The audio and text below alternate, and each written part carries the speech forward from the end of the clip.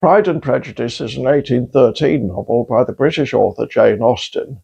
Austen was born in 1775, the daughter of a rector and the seventh of eight children.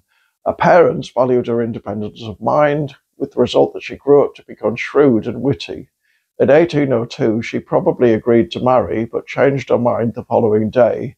She remained single until her death, probably from Addison's disease, in 1817, at the age of just 41. Of the six novels for which she's chiefly remembered, only four appeared during her lifetime. The others were published shortly after her death. Pride and Prejudice was her second. Like all her books, it was published anonymously.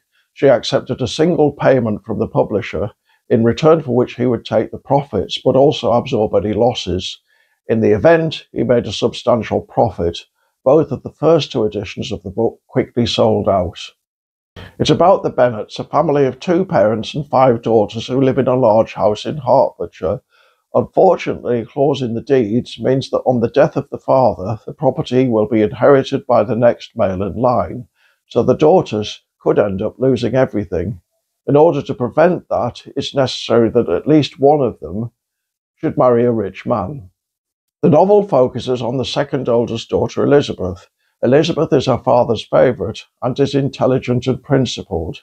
She refuses a marriage proposal from a clergyman, much to her mother's annoyance, but she remains involved in the conventional social circuit of outings and balls, which is where she meets a seemingly horrendous snob called Fitzwilliam Darcy.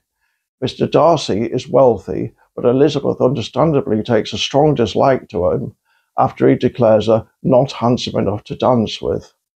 However, he has hidden depths. The novel is written from Elizabeth's point of view, but Mr. Darcy's reserve is gradually broken down as he comes to realize that handsomeness is a superficial quality in a woman and that intelligence isn't. She comes to realize that he too has rare hidden qualities. Her prejudice and his pride dissipate together. What makes Pride and Prejudice such a great novel is partly its form. Each of its aspects works together to make the whole even better than its component parts. It's a very good story, the characters are well developed and recognizable even today from most people's life experience. The writing's precise, the theme's perennial, and the protagonist behaves perceptively, and there are no implausible shocks.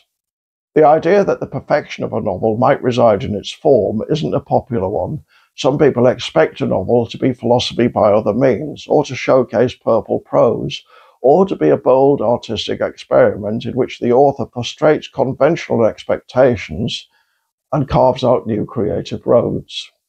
Jane Austen doesn't indulge those expectations. She doesn't sermonize or produce long intellectual digressions or overdo descriptions. She brooks no gratuitous intrusions, in other words. She just tells a good story well.